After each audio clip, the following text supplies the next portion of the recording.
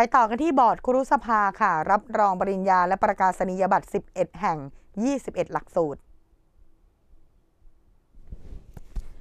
นางสาวตรีนุชเทียนทอง รัฐมนตรีว่าการกระทรวงศึกษาธิการ เป็นประธานการประชุมคณะกรรมการครุสภา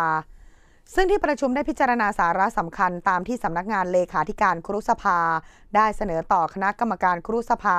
เพื่อพิจารณาในการรับรองปริญญาและประกาศนียบัตรทางการศึกษาจำนวน 11 แห่ง รวมทั้งหมด 21 หลักสูตร และเปลี่ยนแปลงรายละเอียดการรับรองปริญญาและประกาศนียบัตรทางการศึกษาจำนวน 3 แห่ง รวมจำนวน 6 หลักสูตรค่ะที่ครุสภาให้การรับรองแล้ว ของสถาบันอุดมศึกษา ที่เป็นไปตามมาตรฐานที่ครุสภากำหนด ซึ่งผ่านการประเมินจากคณะอนุกรรมการที่เกี่ยวข้องเรียบร้อยแล้วค่ะ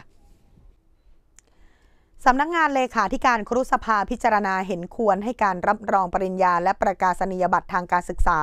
ของสถาบันอุดมศึกษาจำนวน 11 แห่ง รวมจำนวน 21 หลักสูตร ดังนี้ 1. ปริญญาตรีทางการศึกษาหลักสูตร 4 ปีจำนวน 7 แห่ง 15 หลักสูตร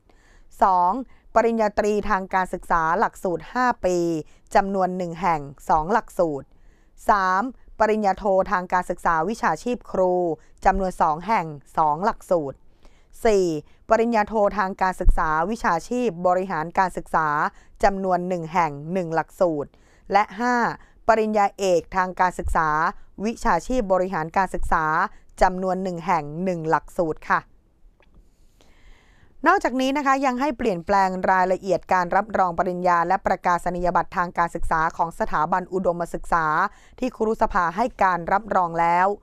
โดยเปลี่ยนแปลงแผนการรับนักศึกษาจำนวน 3 แห่ง รวมจำนวน 6 หลักสูตรดังนี้ 1. ปริญญาตรีทางการศึกษาหลักสูตร 4 ปีจำนวน 2 แห่ง 5 หลักสูตร 2. ปริญญาโททางการศึกษา วิชาชีพบริหารการศึกษาจำนวน 1 แห่ง 1 หลักสูตรค่ะ